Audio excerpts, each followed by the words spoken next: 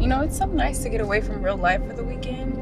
Oh yeah, honey, it's just gonna be the two of us relaxing on the beach for two whole days.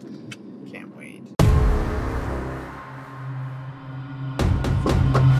Mr. Hawkins.